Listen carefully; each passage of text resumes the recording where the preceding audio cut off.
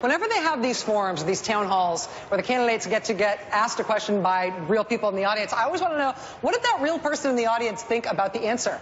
If we can do that. We can do that. Haley. Here with Kenneth Anderson. You might recognize him. Stand up with me. He asked the question that you just saw to Secretary Clinton. Just a reminder, Sergeant in the Marine Corps. You did three tours in Iraq. You were an Arabic translator. Um, so I have to ask you, you are one of our undecided voters. You consider yourself an independent.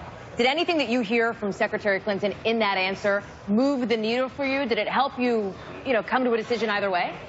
No, I still think I'm undecided. Um, and in fact, that question, uh, that quote from her that the VA problems aren't as widespread as they're made out to be, was on your show. Yeah, yeah it was. October. And I remember hearing that, and I don't know if she really uh, answered that question for me. Um, if she thinks that the, my, I guess my question is, does she think the problems in the VA have been exaggerated and that it's really not so bad? And I think that's an interesting question because I would say the, the VA here in Manhattan really isn't that bad. It, I, have had good experiences with mm-hmm. it, but I can't speak for the whole country. And um, I've heard I've heard bad stories, I've heard good stories. So I didn't quite quite get that out, out of her answer. You know, she didn't answer it. She didn't answer the question.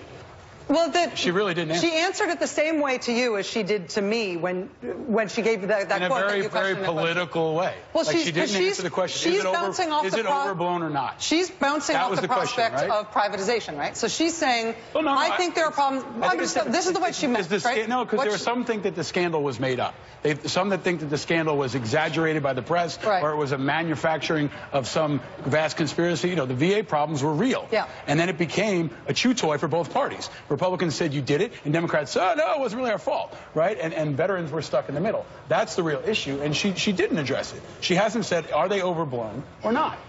I wonder. Yeah, I would. I would say. I think where it's going though is where she went both times when she initially talked about it to me and when she talked about it to you tonight. Is that she's saying sort of a twist on what you're saying here, right. which is if the VA is made out to be inherently flawed, if it's functionally wrong, if it was designed yeah. poorly from the beginning and shouldn't exist, it should be a private system yeah. instead. We don't want to let problems in the VA turn around to people who want to get rid of the turn turn into an agenda the, the item. reality, People who want to get yeah. rid of the VA. VA That's issues where she's are extremely complicated. Yeah, it's almost as complicated as ISIS sometimes, right? And, and you have to deconstruct the different parts. And the reality is, quality of care is consistently good. Access to care has been consistently bad.